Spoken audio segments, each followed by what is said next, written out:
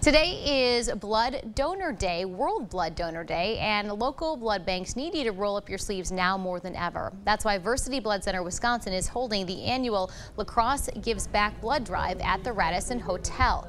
Versiti says that donors are down, and this time is critical to give back because hospitals need more blood in the summer. Blood Center of Wisconsin is the sole blood supplier to our local hospitals that include Gundersen Health and Mayo Clinic.